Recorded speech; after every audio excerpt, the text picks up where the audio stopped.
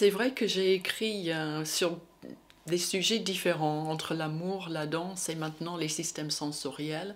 Mais je pense que le point clé, c'est la plasticité du cerveau.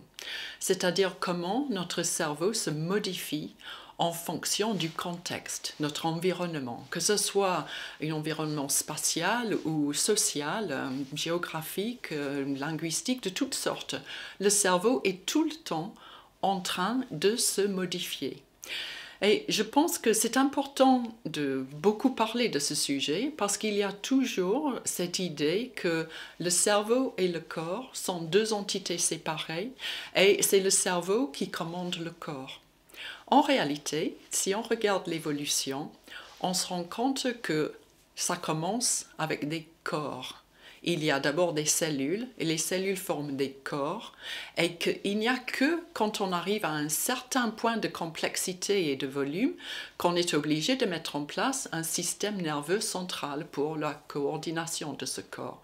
Alors dans ce sens-là, tout commence avec le corps. Mais en allant plus loin, quand on regarde ce qui se passe dans le cerveau, il est vrai aussi que tout commence avec le corps, ce qui paraît logique quand on sait ce que je viens de dire sur l'évolution. Et donc, nourrir ces systèmes sensoriels en information est vraiment absolument nécessaire pour que le cerveau obtienne toutes les informations nécessaires pour bien coordonner notre corps, pour bien euh, nous faire euh, ériger des stratégies de comportement et bien vivre dans notre environnement. Donc, dans ces sens-là, tout commence effectivement avec le corps. J'ai donné un peu la vedette à cette partie du cerveau qui s'appelle l'insula dans le dernier livre. Pour la raison suivante, il se trouve qu'il y a deux chercheurs euh, anglo-saxons qui ont beaucoup travaillé sur le rôle de l'insula dans la conscience de soi.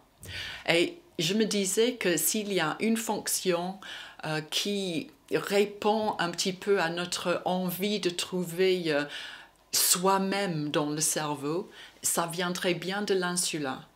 Et j'étais ravie de voir comment ils appuient leur thèse et leur développement d'idées sur le fait que l'insula ou l'insula traite les données sensorielles en provenance de tout le corps. C'est un, petit noyau qui est juste en dessous du cortex extérieur. Évidemment, il y en a un de chaque côté du cerveau. Et euh, quand je dis que ça récupère toutes les informations sensorielles, c'est les sens extérieurs, si vous voulez, comme le toucher, l'ouïe, euh, enfin tous les sens que chacun connaît, euh, le goût, l'odorat, la vue, mais aussi les sens internes au corps, les sens dont nous ne sommes pas forcément conscients comme les battements cardiaques, le taux respiratoire, mais aussi le taux de tous les métabolites, euh, aussi ce qui se passe dans nos articulations, euh, dans nos muscles quand on les contracte, dans le système vestibulaire, tous les sens qui font que notre corps puisse fonctionner correctement dans son milieu. Alors, il se trouve que l'insula est intéressant parce que en récupérant toutes ces données qui sont, comme vous imaginez, mais énormes, il y en a beaucoup, beaucoup, beaucoup, il fait un croisement entre ces données, mais aussi il y a des liens entre l'insula et les réseaux cognitifs et les réseaux émotionnels. Alors ça nous permet d'expliquer comment le croisement de toutes ces informations nous donne ce sentiment de soi, cette conscience de soi. Et dans le livre, tout commence avec le corps, j'ai développé l'idée aussi que euh, cette faculté de conscience de soi, bien décrite et acceptée dans le monde scientifique, donne aussi la notion de confiance en soi. Et le fait de travailler les systèmes sensoriels en nourrissant l'insula d'informations et en se mettant au défi constant de toujours faire des choses nouvelles, de se surpasser en euh, information sensorielle. Eh bien, chaque fois qu'on se dépasse et qu'on voit qu'on réussit une nouvelle coordination du corps, une nouvelle reconnaissance d'odeur, euh, une, nouvelle, euh, une nouvelle façon d'écouter de la musique, euh, etc. Chaque fois qu'on se met au défi qu'on réussit, on améliore notre confiance en soi. Et j'ai eu la chance d'en discuter avec Antonio Damasio lui-même en lui soumettant cette notion. Et il était avec sa femme, qui est aussi un neuroscientifique de, de grande répute, et tous les deux euh, étaient d'accord pour dire que oui, effectivement, c'est vrai, parce que toutes défis dépendent d'une interaction du corps avec l'environnement elle crée de nouvelles sensations et une nouvelle prise en compte de ces sensations pour le cerveau. Et c'est ça effectivement qui nourrit la confiance en soi. À partir du moment où on dit que les systèmes sensoriels sont vraiment importants et essentiels pour, euh, ben, pour tout ce qui concerne les systèmes cognitifs et les systèmes émotionnels dans le cerveau,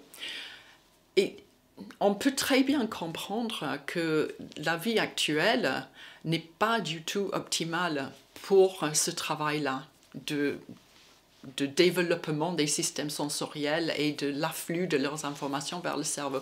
Par exemple, euh, nous vivons à l'intérieur maintenant. Nous passons la vaste majorité de notre temps dans des pièces qui sont allumées euh, artificiellement. Donc on ne voit pas le lever du soleil, le coucher du soleil, on ne voit pas les, les ombres qui se rallongent, qui se raccourcissent au fil des saisons, on ne voit pas les horizons avec des lumières et des couleurs différentes. Euh, ça c'est juste l'exemple de la vue, mais l'exemple de l'odorat aussi est criant. On, était, euh, on a évolué, notre corps d'être humain a évolué dans un milieu où nous étions dans des groupes sociaux d'environ 50 personnes. Et aujourd'hui, on vit dans des très très grands groupes où l'odorat ne peut plus remplir la fonction pour laquelle il a été fait au début. Et donc, euh, toutes ces façons de vivre maintenant ont fait taire le système sensoriel. Ce qui veut dire que notre cerveau d'Homo sapiens ne reçoit pas le type d'information pour lequel il a évolué et qu'il sait bien gérer. Alors, dans ce sens-là, donc, euh, euh, tout ce que nous faisons aujourd'hui n'est pas optimal, ni pour notre corps, ni pour notre cerveau.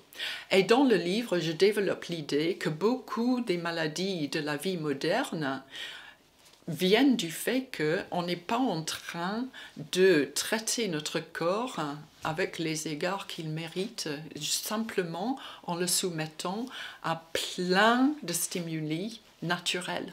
Dans le livre, je donne beaucoup d'idées d'exercices pour justement développer tous nos systèmes sensoriels et d'essayer de les faire travailler au-delà de ce que nous faisons dans la vie de tous les jours. J'ai donné des exercices de marche, par exemple. Euh, franchement, je trouve que la marche n'est pas le meilleur des exercices, hein, mais mes exercices concernent une façon très particulière de marcher en essayant de prêter attention à ses deux pieds et ses deux jambes en même temps, parce que vous vous rendrez compte qu'en en fait, on marche sur un pied à la fois en général. On ne marche pas avec ses deux pieds. Quand on a appris à marcher à l'âge de un an, 18 euh, mois, mettons, euh, après, personne ne vous dira en fait, il faut ajuster ceci ou cela, sauf si on a une, anomalie majeure. Mais quand on regarde les gens dans la rue, euh, la façon de marcher est souvent très branque-ballant et pas très bien équilibrée et ne, ne permet pas de bien avancer. Alors c'est pour ça que j'ai donné des pour démontrer que euh, on peut prêter attention même aux gestes euh, les plus simples pour euh, vraiment améliorer l'apport à nos systèmes sensoriels. En contrepartie, certains diront, j'ai aussi parlé de la méditation en pleine conscience en disant que c'est une activité physique.